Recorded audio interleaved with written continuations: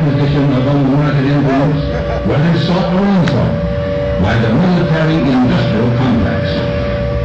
The potential for the disastrous rise of misplaced power exists and will persist. And there is very grave danger that an announced need for increased security will be seized upon by those anxious to expand its meaning to the very limits of official censorship.